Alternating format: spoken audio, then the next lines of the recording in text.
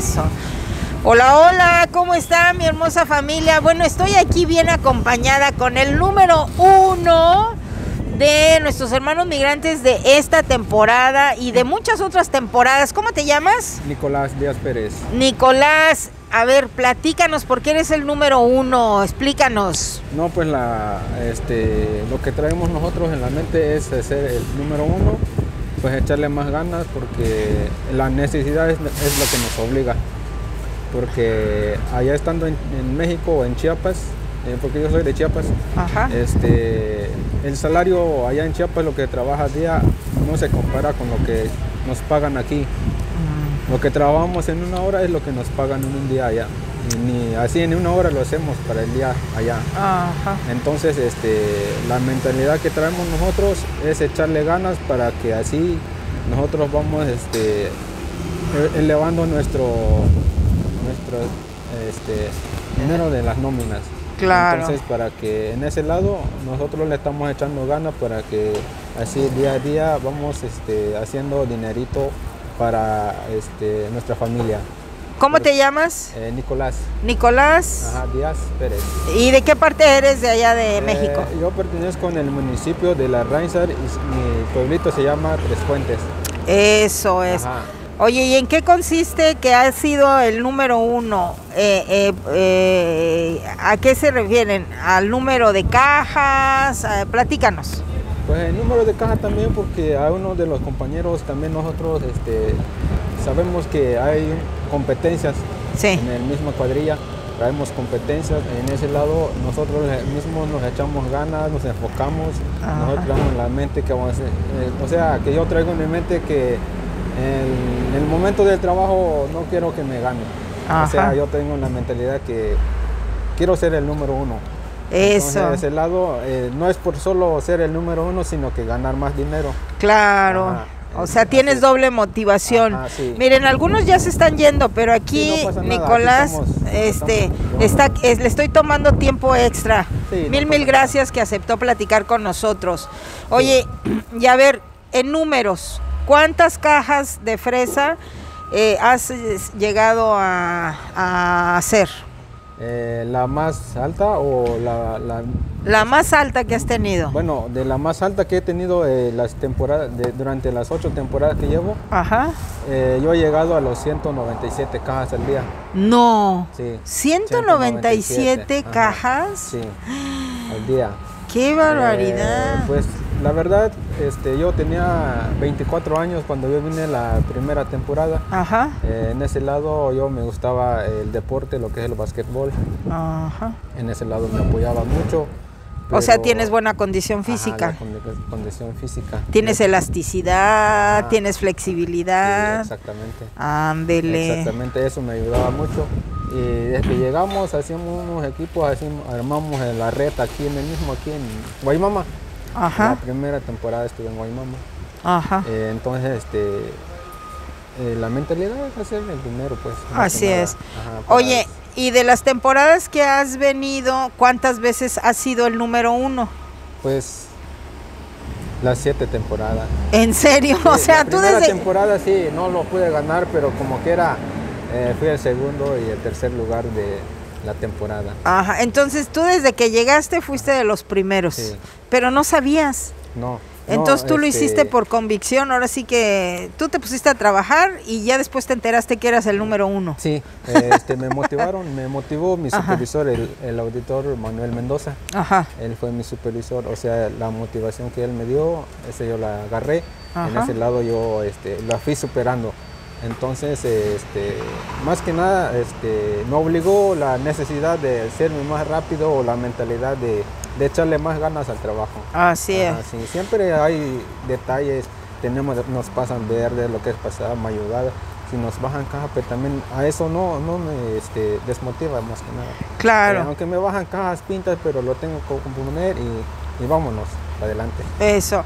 Oye, ahora viene lo bueno. Sí, ¿Cuánto te ganaste en aquel entonces? Este, ¿cuánto fueron? ¿Ciento qué? 195 al día. 195 cajas. ¿Has sabido tú que, que hay algunos que hayan superado tu récord? Pues la verdad no sabría decirle porque eh, Ajá. como hay varios ranchos, pues que han pasado, han rebasado los 195 o más o menos, no sé la verdad. Ajá. Eh, bueno, los cheques y es, o sea, este, de lo que hemos visto hasta ahorita, eh, ya están variando los cheques que están sacando. Ajá. Bueno, dep- aquí en Jaymar es lo que yo he visto que está un poco bajo el trabajo.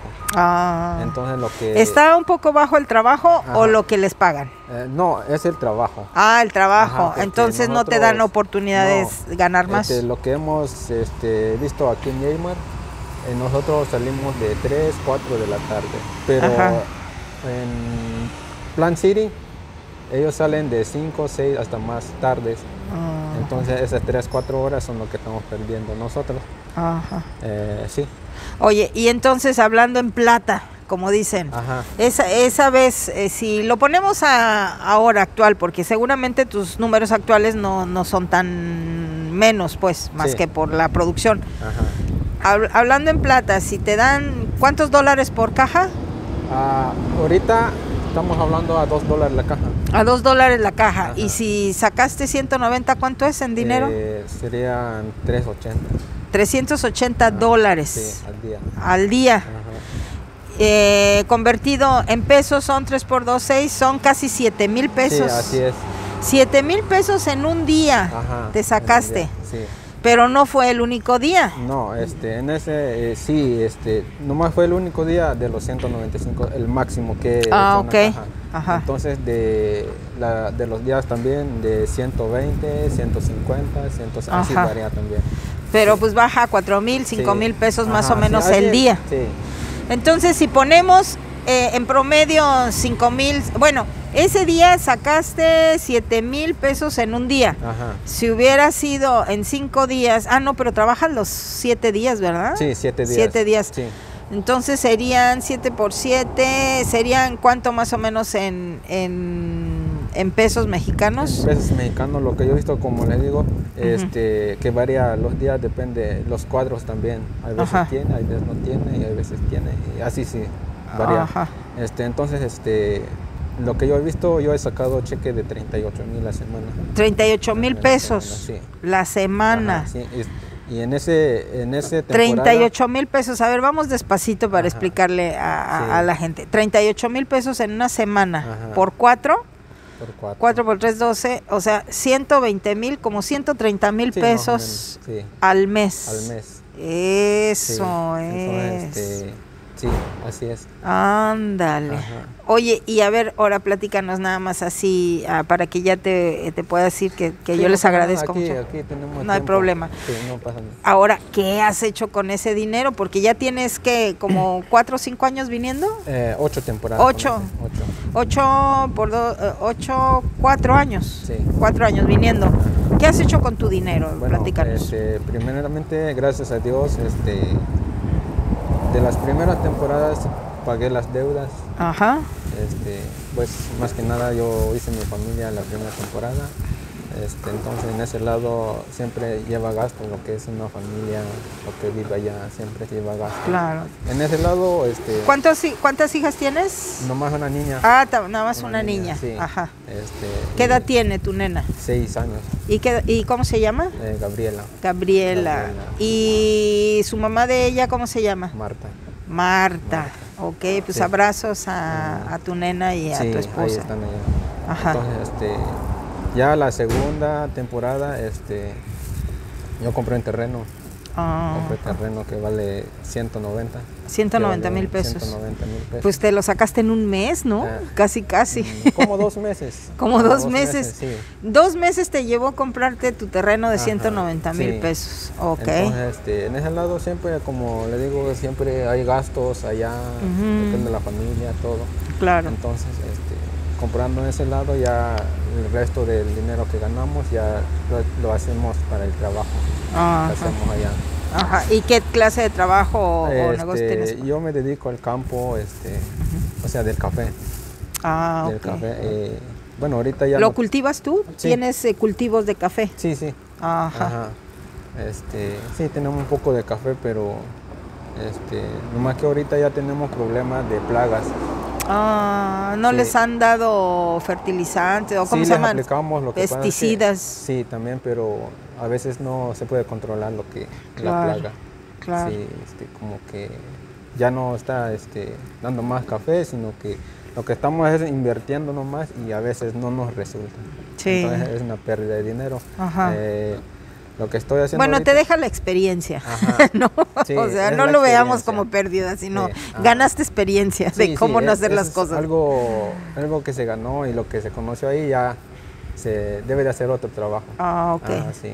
¿Y qué otros eh, negocios o negocios has...? No, ahorita, hasta ahorita no tenemos negocios Ajá, porque a veces nosotros nos vamos por 5, 4 o 6 meses allá en Chiapas. sí. Y en ese lado no, como que si nosotros hacemos negocios allá, lo dejamos, después lo dejamos abandonado. Ah, claro. nuestra señora no lo pueden hacer ellas mismas, Exacto. sino que ellos batallan o no lo pueden hacer, más que si nosotros estemos allá. Ajá. Entonces, pues, lo que estamos haciendo es una inversión de terrenos.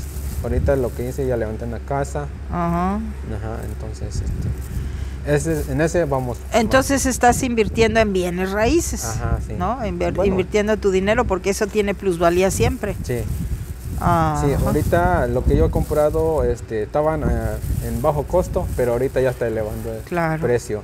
La Esa es la ventaja que tenemos. Ajá. De hecho, siempre no se ha ahorrado todo lo que hemos ganado aquí, siempre se ha gastado. De todo, Sí. pues, cuando se va uno allá con la familia, siempre sale a divertir, pues, Ándele. nada a comer, a todo, pues, a- con, Sí. la, con la hija, con la señora, pues todo también. También. Sí. Oye, ¿y tu nena está estudiando? Sí, Ajá. ¿Quieres Está que en- estudie, que, que estudie secundaria? no, ahorita está en primaria, Ajá, primero ok. de primaria. Pero a ti te gustaría que siguiera estudiando este, hasta donde ella quiera, ¿verdad? Sí, sí, es la idea que tengo, porque Ajá. nomás una niña tengo, yo creo que sí lo puedo sacar adelante. Ah, no lo digo que no lo puedo hacer, sino que lo puedo hacer como papá eh, para sacar adelante a ella.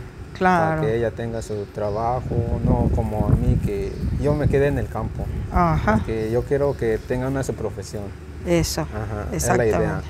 Pues ahorita lo estamos apoyando en mucho. Como ella, ella no habla español y nosotros no lo hablamos, Ajá. casi muy poquito. Este, nos cuesta para hablar español, Ajá. pero ahí lo estamos este, hablando poco.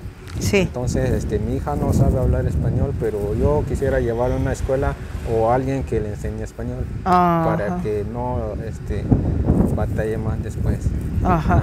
sí. Ok.